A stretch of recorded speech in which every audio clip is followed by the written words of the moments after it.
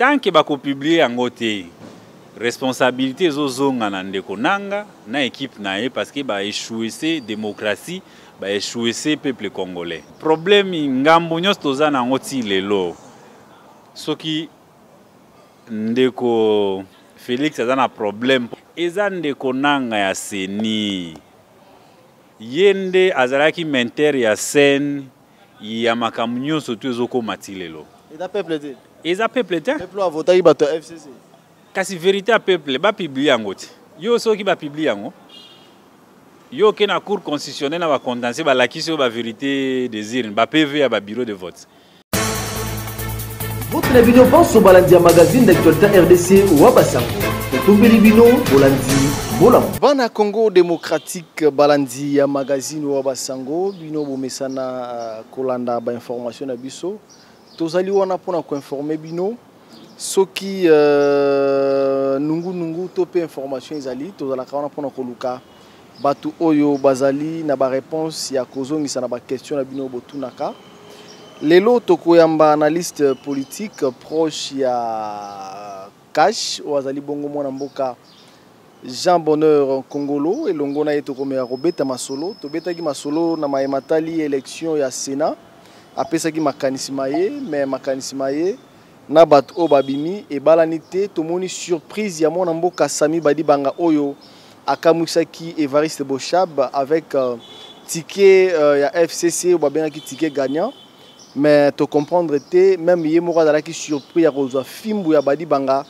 badi banga a gagné euh, na poste ya premier vice président ya ya sénat alors tokomeka lisusu kobeta mwa lisolo moke na mai matali réunion ya lamuka oyo mwana mboka euh, moïse katumbi chapwe apasse passation ya pouvoir na Euh, mwana mboka euh, Jean-Pierre Bemba Gombo, absence ya Jean-Pierre Bemba ezali ko saboter euh, coalition wana ou bien ko saboter plateforme na bango politique Lamuka oyo atindaki secrétaire général na ye oyo ayebaki bien ye nde motu akozwa présidium ya euh, coalition. Bonjour mwana mboka Jean Bonnet. Euh, bonjour ndeko Fabrice. Santé. Kimia eleki ndeko. Kimia eleki. opesaki makanisi ma yo na mai matali élection ya sénat euh, lelo oyo euh, fcc aganye kotalisa kolandisama na premier ministre ya fcc euh, pre, présidente ya, ya, ya assemblée nationale fcc oye na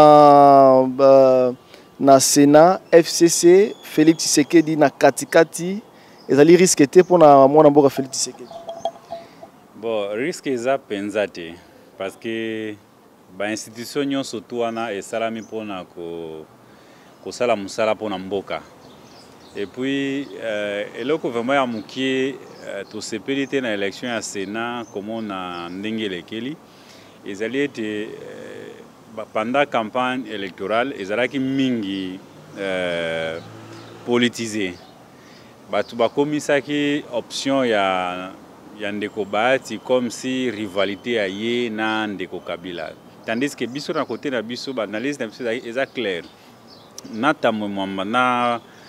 eh, na Bahati Lukwebo bazalaki ba les oiseaux de même plumage. mais biso analyse na biso kendaki mingi na kote ya bayati na sens ke azalaki le plus modere ya bato nyonso tu mpo na kofaire avance bainstitution wana mais euh, topesi longonya na ndeko tambo mwamba aza mobali abundi euh, bitumba na ye alongi yango euh, ngonga sikoyo ekokisami mpo na kosalela mboka e nasepelaki mpe na discours na ye ya kokota na koreconnaitre ete euh, institution wana efo esalela mboka e kosalela mboka elingi oba ete ba petit peuple il faut ba se retrouver na mibeko nyonso to ekosalama na, na kati ya mboka na biso mais prochainement mpo na ba compétition politique ekozala intéressant campagne ya lolenga boye batika ko créer ba conflits inutiles entre ba acteurs politiques na soit na bato oyo balingi bazala lokola ba autorités morales ya, ya bato nyonso tu wana ezali leçon moko oyo ba hommes politiques fallait ba attirer mais néanmoins euh, côté na biso parce que yo ebi ngai motulu na ngai ebandi na FGRC toyei nango na les progressistes mais néanmoins tozali ya kosepela parce que euh, biso injustice ya ba élections biso tosibisaki yango parce que tozalaki na badepute provinciaux te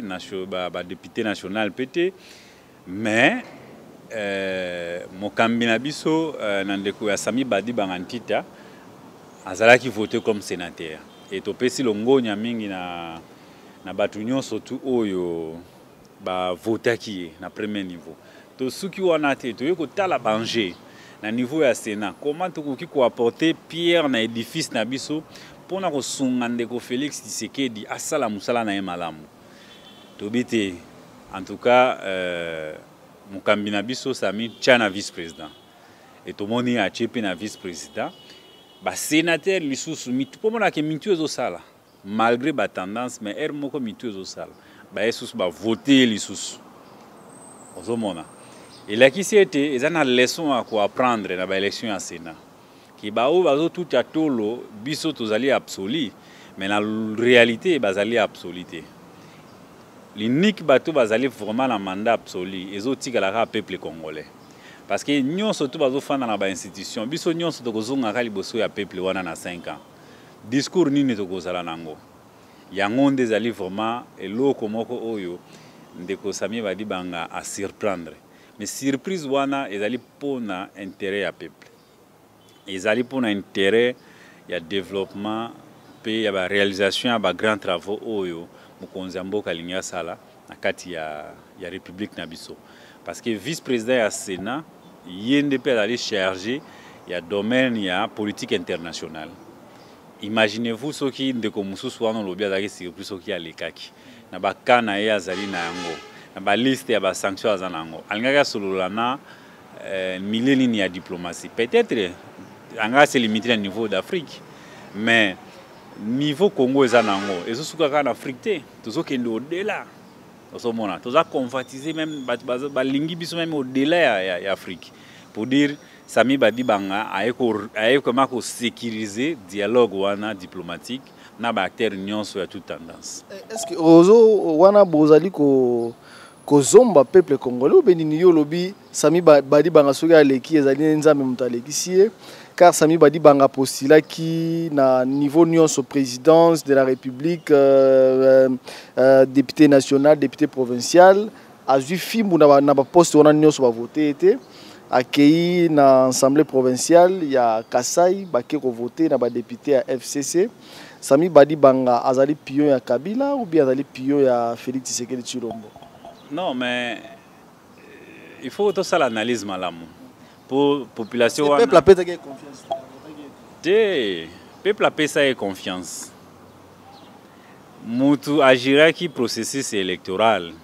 ye nde azali problème ya baresultat ya baélection parce que baresultat ya baélection epesama ti lelo ezali baélection mpenza te ezalaki eloko moko bato babongisi baye koimpose yango na peuple lokola toza na peuple moko azali vraiment bato ya kimia baboyi bitumba baboyi makila etanga bandimi yango me lobi ekozala esu bongo te yango omoni tozofungola miso na reforme ya seni ezala reforme ya bakambi ezala mpe reforme ya mibeko eza kokamba seni esengeli to revoir yango mpo bango nde Basalaki mama na theatre pour que lelo tozala bongo. Koloba ete ndeko Sami peuple pesaki confiance te wana omikosi. Mais bilan ezalaki négatif ndeko. Oko évaluer bilan négatif na ba indicateur nini? Parce que ndeko nanga ti lelo PV moko te ezali rendi public ndenge mibeko esengeli sikoyo sur quelle base ya baindicateur yo koloba ndeko sami à tous les niveaux bavotaki ye malamu te wana ezali kokosa peuple congolais de deux kobosana te carrière politique na ye avant akoma premier ministre agéraki opposition parlementaire azalaki quand même na concession politique na bato nyonso tu oyo baexercaki mandat Ya suka ya ndeko Kabila. Ozo mona? Soki na lobi po na Nzambe nde ba vote ye. Parce que yo oyebi mboka na biso ti. Yo oyebi intimidation oyo esalamaka na mboka na biso. Soki ezalaki po na mbongo nde ndeko wana okokaki kozwa te. Parce que ngai na moni ndenge nini a depensaki na mandat na ye na ba campagne ndenge elekaki. Soki ezalaki pe po na kotala ba autorites morales alingaki pe aleka te. ozomona mais ye ataleli confiance na nini na relation ya, ya, ya bato oyo akreaki na carrière politique na ye relation ya sami badi bangaka oleka ye oleka relation ya ye ya, ya, ya kabila na badepute na ye oubien na basénateur na ye non ce n'est pas dire que soki oza pire master oubien pire petit ya confiance ya kabila nde ozwi exclusivité ya barelation ya bato te toza bato relation ozotise yango na bato na monde na yo politique to carrière na yo professionnelle yango ekofutaka yo tôt ou tard ocomprendre soki ezalaki mpo na eloko wana te nde ndeko sami badibanga akokaki kokoma euh, vice président ya premier vice président ya sénat te akei na compte ya cash te akei na compte ya cash te akei na compte ya euh, ya candidat indépendant mais lokola nayebisaka yo rappeler mala nsima nayebisaka yo ke biso na idps toza baadversaire te biso na idps toza famille parce que cordon, cordon ombilical na biso yango wana ozomona ezali ezali récompense na sens oyo ozokanisa te ezali mérite ya mwana mobali malgré bainjustice malgré banini nyonso tu mwana mobali abundi na ba makambo nyonso to azali na yango surtout relation oyo ekomisi na niveau wana eza relation moto nyonso akutana na ye azonga ndenge akutana na ye te eske sami badi banga azali uh, pion oyo te uh, etienne tisekedi wa mulumba ava kufa atindaki ye nano akota na nini na uh, azwa primature a gérer yango mpo akende kosunga ndeko na ye euh, to mpe ye moko soki azalaki en vie alaka koma président de la république nzambe adeside ke akufa lelo mwana na ye akokamba mboka ezalaki euh, dame oyo babetaki te ke non pion na bango samifu batindika ye nani na primature après primature akokende tanto kogere euh, sénat parce que azaka même na connaissance ya na mambi matali relation internationale na ba Non, bon. Bon, politique, ils ont un jeu d'échec. Pour nous, on a un jeu de dames. Bon, na kolandela parcours na ye ezali baréalité oyo ezalamaki na chaque état politique parce que ntango bayibi élection ya 2011 ya Docteur eh, Etienne Tshisekedi ba se proclamer autoproclamer président ndeko Sami azalaki parmi bato ba préféraki koboya ba crise ya ba institution batikala ba servir mboka mais ba faire comprendre na parti politique na, na bango ete ce n'était pas le moment ya ko créer ba crise euh, institutionnelle à partir ya wana mbala moko akomi président ya composante opposition institutionnelle parce que le vrai opposition etikalaki na vieux Etienne Tshisekedi paix à son âme na limete maintenant collaboration ekokaki kaka kozala parce que ezalaki mwana ya kati ya udps nde aza kokamba na kote ya bainstitution maintenant ntango toyei koboya dialogue ya kojo baye kosala tokende na cité de loia a utiliser même sagesse akei lokola opposition institutionnelle mais opposition radicale etikalaki toujours libanda comme force ya changement maintenant na niveau wana ata ozali mathématicien ya ndenge nini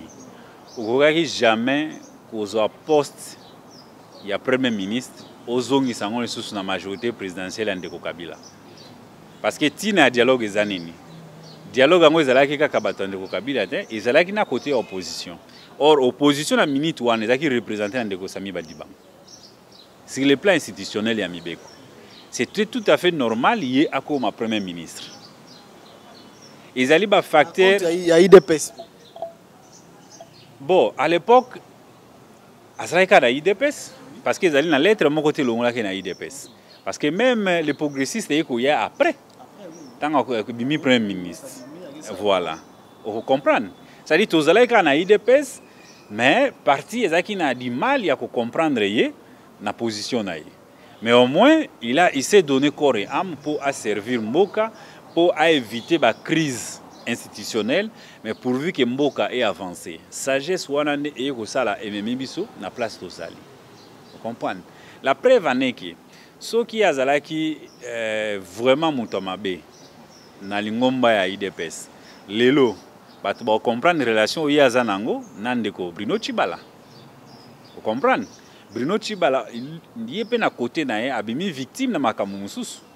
mais à la fin de la journée ozomona ye na politique ndenge ezokende aza nulle part mais toyebi lobi na ye te mais néanmoins ndeko Sami abundi lokola mwana mobali a utiliser ba réseau na ye malgré ba, ba incomprehension mais lelo toza na problème na na bandeko na biso ya idps te biso efale tocontinue kozala bongo parce que famille nde yango wana komona meme euh, chef de l'etat na matanga ya nkondo etienne tisekedi wa mulumba apesi bato nyonso mbote kitoko me ekoma na sami badi banga embrase mpenza na maboko elingaki koloba deja yo okozala futur euh, euh, premier euh, nani euh, président ya sénat oyo okoprotege quand même ngai na, na, na, na institution wana mpo aza na mwa risque makasi na bapillon ya nani ya kabila oyo entouré bon ya yambo mpenza Euh, signe wana elingi oloba ete ezali signe ya kozala mokonzi ya mboka oyo azali na bomoto azotala kaka eh, influence ya pouvoir te akoma charismatique bato nyonso to ata ayeba bazala so na importance te ozomona omoni soki nayebisaki yo na ebele ya bozwi ya ndeko sami ezali relation na ye ya tisa na bato uta banda politique na ye ti lelo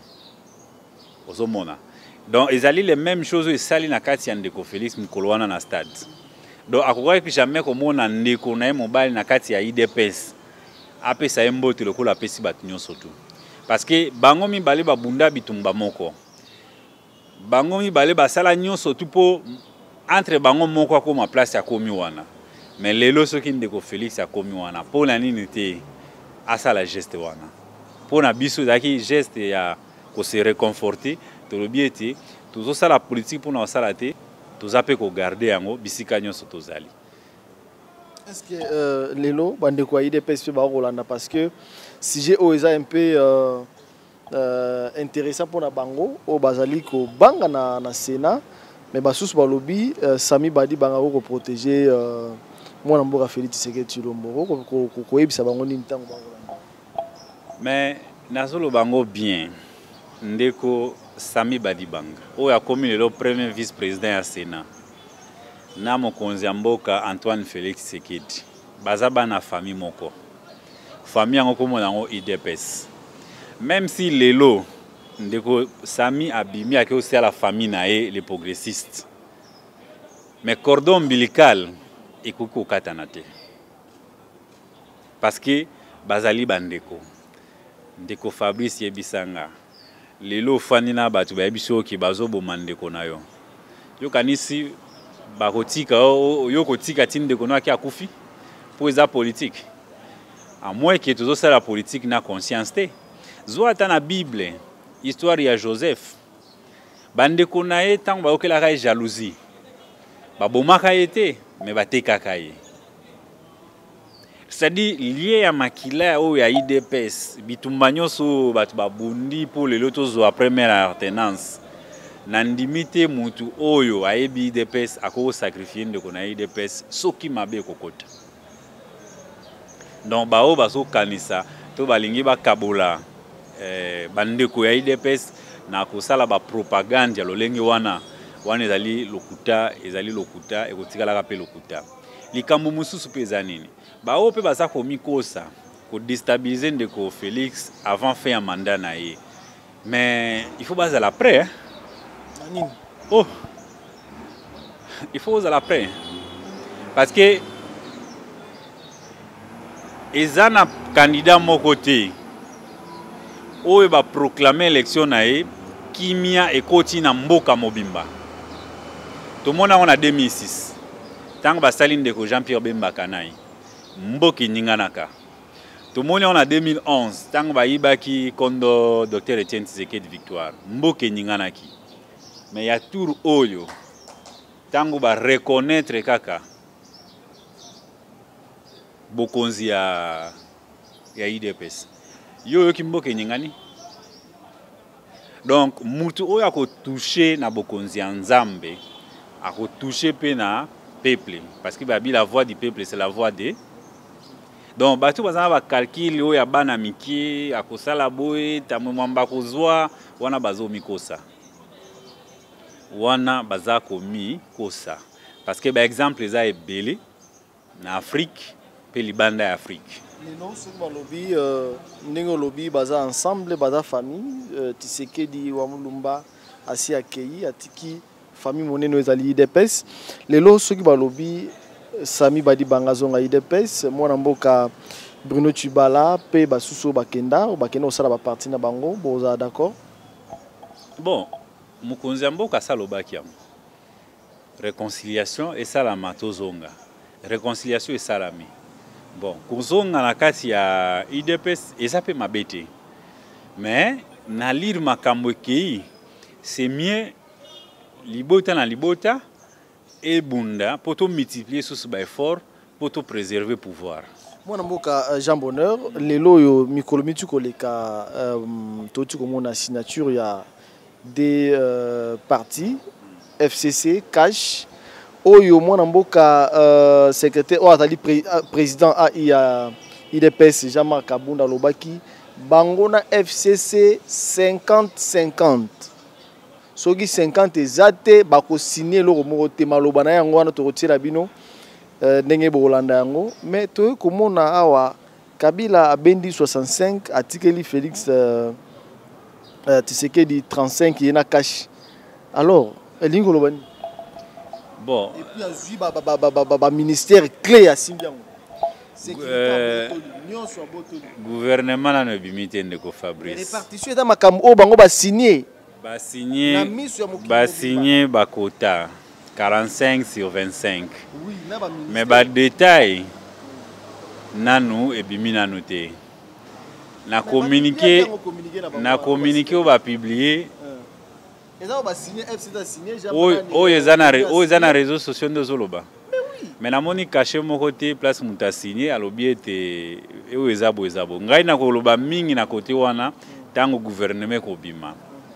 mais pour le moment lokola balobi 45 25 na trouve yango normal parce que nazoyebisa yo problème ngambo nyonso toza na yango ti lelo soki Ndeko Felix aza na problème mpona ko faire redémarrer démarche ya état de droit mpe démocratie na ya bonne gouvernance na mboka na biso. Eza ndeko nanga ya CENI. Ye nde azalaki menteur ya scène ya makambo nyonso tu ezokoma ti lelo. Eza peuple te. Eza peuple te. Peuple avotaki bato ya FCC. Kasi verite ya peuple ba publier yango ti. Yo soki ba publier yango yo ke na cour constitutionnelle na ba condensé ba lakisi yo ba verite des urnes, ba PV ya ba bureau de vote. Tant que ba ko publier yango te, responsabilité ezo zonga na ndeko nanga na équipe na ye parce que ba échouer démocratie, ba échouer peuple congolais. Mais lokola présidence ezongi et pas peuple,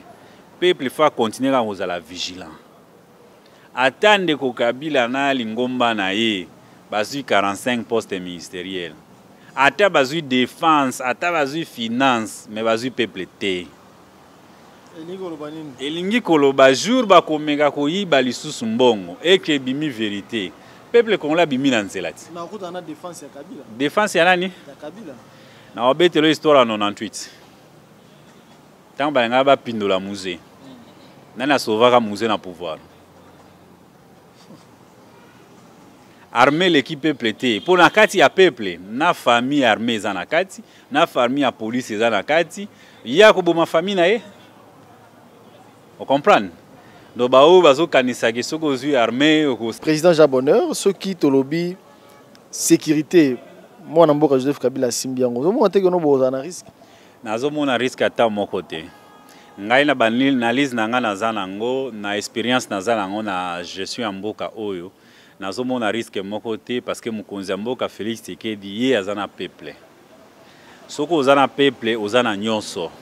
nyonso peuple abunda na armée armée wana bazoloba armée ngai nazoseka bato mingi bazokoma na bareseau sociaux bamisu bazoleka meme na tv baloba o oh, ndeko kabila aza na armée aza na police aza na nyonso tout mais baza komikosa mibeko ya mboka ezali koreconnaitre armée moko te ezali ya motu Armee ezali ya mboka. Soki bakonzi ya armee wana to baoyo nyonso te baza koservire na mboka baza komikosa ete bango bazali na armee ya Kabila, bazali na droit ya kodemissione. Tokosenga bango bademissione na baposte. Soki mpe baboyi, tokosenga mokonzi ya mboka tosigne plan Marshall na bapays mosusu baya koprotege biso peuple parce que tokosupporte lisusu te na manda oyo ezala bato ya armée ezala police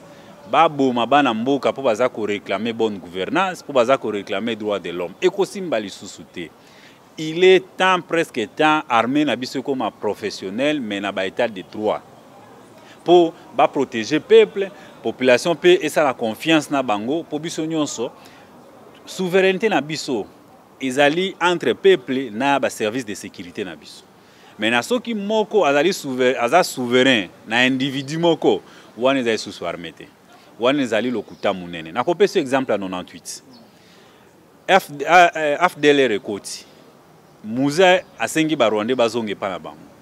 bakanisaki ke bakopindola muze na, na jour moko evenema 98 banani basova pouvoir ya, ya muze eza peuple congolais banani ba pousser alternance ezala eza peuple congolais banani lisusu bakosala pour que mandat oyo eresir ezali kaka peuple wana ozomona peuple wana nde soki sikoyo azongi alali atiki kosala ba revendication ba pression na ye ah, wana nde botikeli sikoyo nzela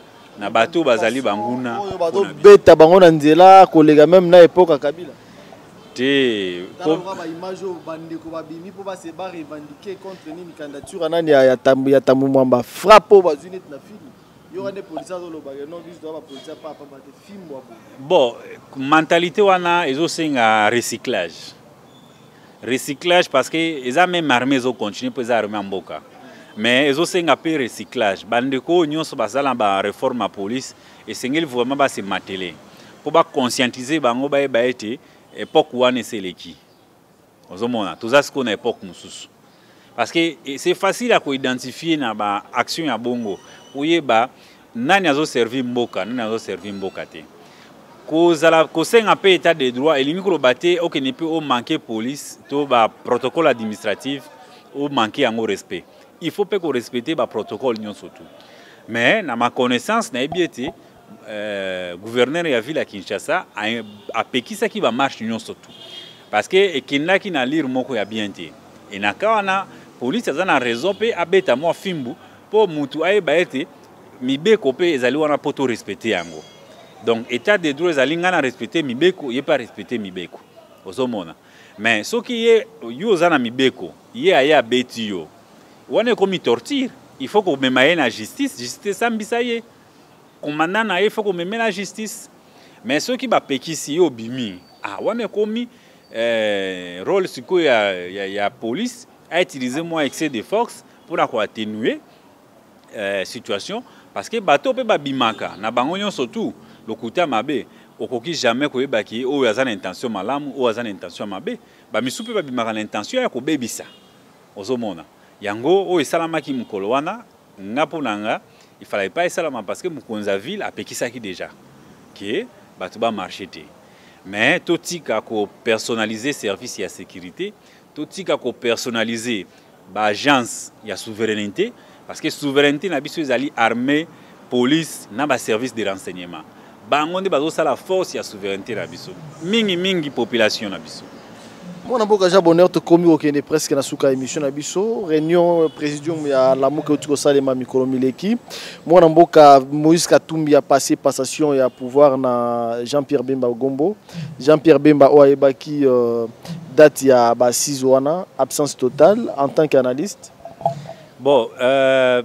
en tout cas bato ya lamuka je crois d'abord tous féliciter progrès bazosala na, na mouvement na bango mais seulement progrès wana il faut ezonga mingi na opposition républicaine bas basala musala de façon que ezala opposition moko ezali pe ko tirer ba ficelle sur le plan ya développement totika opposition mpo na ba intérêt eh, économique ou bien intérêt politique mais basala plus opposition mpo na peuple ngai nakosepela malamu soki opposition ya lobi ou bien opposition ya lelo toza kobebana mpo mai eza na kasumbalesa te tozoyokana te mpo courant ekomi na, na sankuru te toza koyokana te mpo ebola ezoboma biso na nord et sud kivu lelo ekomi koya kokota na kinshasa tozoyokana te opposition il faut kende sikoyo na niveau wana parce que mboka na biso ezali deja na potentialité ya kosala baaffaire ebele mais soki opposition etikali kaka mpona kosala opposition politique mpe opposition ya babiension économique wana mwana mboka akose retrouve te wana ba jeune to biso baoyo tozopesa baanalyse na biso esengeli tomultiplie yango mpo mwana mboka azala toujours regardant lokola tozosenga tozala regardant na bato ya fcc oyo bazwi 45 pourcent na gouvernement na 25 pourcent ya cash de même mpe ifo tozala regardant na opposition ozosenga biso tobima marche mpo na nini soki eza mpo tozwa mai tobimi tokoki kosala marche soki eza mpo bahopitaux na biso etonda bakisi baekipema ezala bato bafutama malamu wana tobimi tokoki kosala marche soki ezali mpo bajeune bazwa misala tobimi lisusu ya mingi opposition wana nde toza na yango mposa tolingi te opposition oyo basignaki accord barespecte te accord yango ezalaka mpe claire te na, na, na peuple congolais yango omoni ngai na félicité cash na fcc na accord oyo basignese bato bamisigne en public parce que nyonso ezali basé sur développement ya mwana mboka congolais merci beaucoup na remercie ndeko fabrice bana congo démocratique merci na bino nyonso bolandaki mwana mboka jean bonheur congolo oyo arépondre na baquestion ya magazine d'actualité rdc ya basango eloko moko ya malamu oyo nasimbi alobi soki tokosala bamarche mpo na intérêt ya peuple congolais ekozala malamu makambo oyo alobi ezali ya solo parce que ya des provinces oyo depuis nzambe akela république démocratique du congo ezali même pas na régie des eaux mai ya propre ezalaka te même pas courant bamonaka yango te nzoka nde tozali na inga oyo ekoki même kopesa na moitié afrique courant tozali na bassin ya fleuve congo ekoki kopesa na moitié ya monde mobimba mai mpo bamela et pourquoi peuple congo azali kosouffrir na wana tomonaka politicien moko te ebimisa biso na balabala tosala marche mpo na euh, intérêt tanto ya province tel bazwa courant na province tel bazwa mai na bajeune bazwa misala tokenda kaka soki basine bakor na bango ezosimba te wana babimisi biso na balabala baboma ndeko na yo babeta ye fimbu mpo ye azwa pouvoir ere akokota bonheur ya ye na mwasi ne na bana na ye alors biso peuple congolais tozotikala kaka ndenge tozali surtout la jeunesse congolaise bazali presque sacrifié tomoni lelo chef de l'état na bonne volonté na yo ya kozwa badécision à promouvoir jeunesse congolaise surtout bajeune entrepreneur oyo tozalaka même pas na accès ya crédit na mboka na biso okozala na idée na wa malamu obandi entreprise okodefa mbongo wapi parce que oza na accès te